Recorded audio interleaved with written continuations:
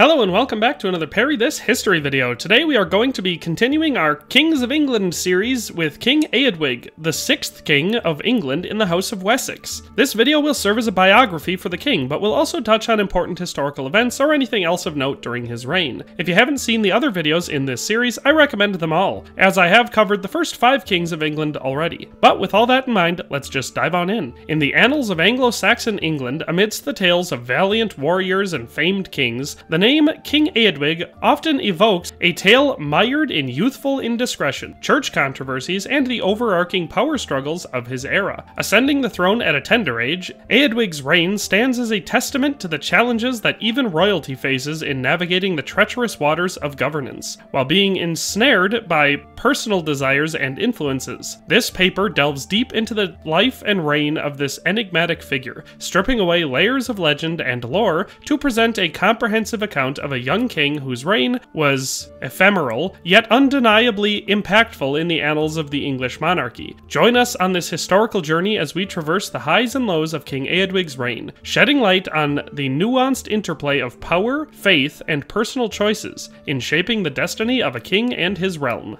Section 1 Early Life and the Family of King Eadwig.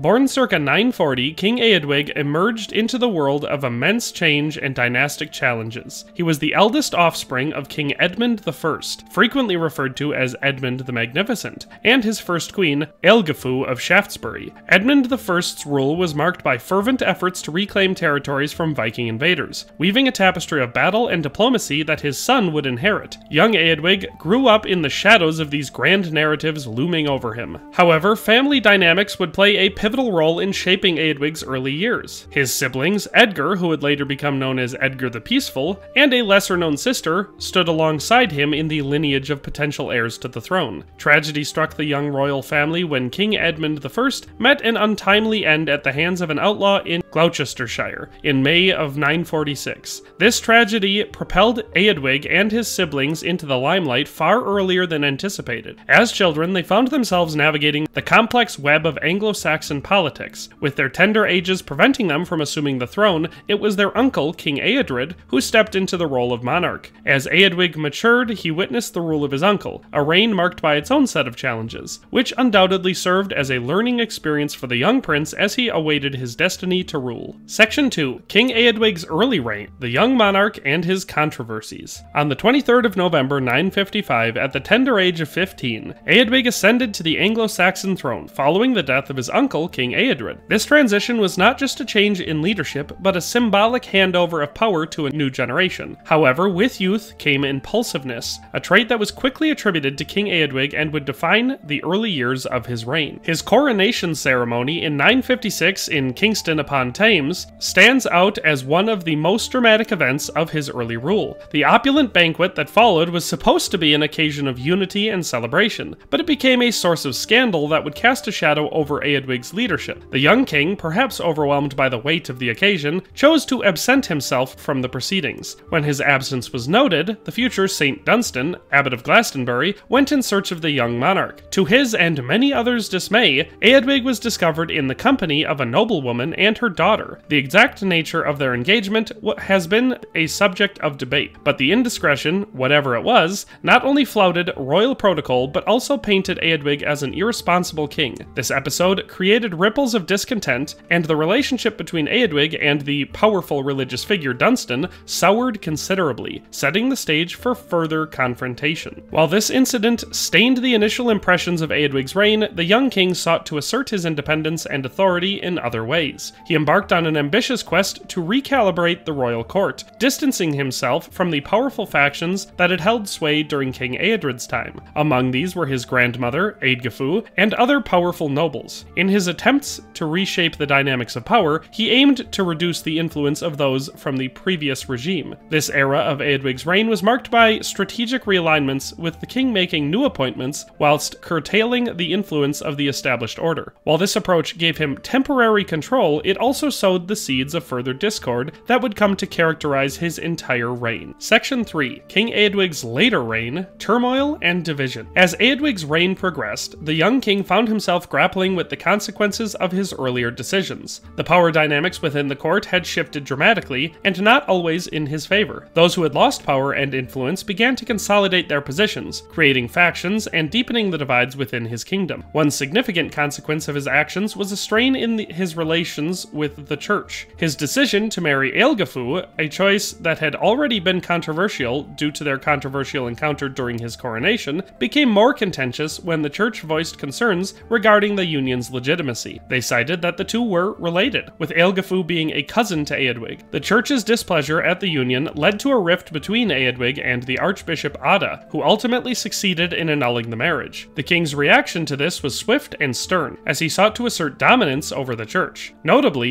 Dunstan, who had found himself at odds with the king since the coronation, was exiled to Flanders. This exile, however, had unforeseen repercussions. While in Flanders, Dunstan aligned himself with the Benedictines, a move that had long-term implications. The Benedictines, with their influence and reach, began to rally support for Eadwig's younger brother, Edgar. The growing popularity of Edgar and the divide in the church's allegiance became more apparent and threatened the very foundation of Eadwig's reign. The political fissures reached their peak in 957, when the regions of Mercia and Northumbria, dissatisfied with Eadwig's leadership, pledged their allegiance to Edgar. The threat of a full-blown civil war loomed large. To quell the rising tensions, the kingdom was divided to avoid bloodshed. Eadwig retained control of Wessex and Kent, while Edgar governed the northern territories. This division, though meant to be a temporary measure, showcased the diminishing power and influence of a king who began his reign with promise. The River Thames became more than just a geographical landmark, it demarcated the divisions of loyalty in a kingdom that was once united. Eadwig's late reign, marked by political upheavals, strained relations with the church, and internal factionalism, served as a stark reminder to the challenges that can confront a ruler, especially one so young and thrust into power. Section 4 Conclusion The End and Aftermath of King Eadwig's Reign. King Eadwig's reign, fraught with challenges and divisions, came to a tragic end on the 1st of October 959. He was barely out of his teens. The exact circumstances of his demise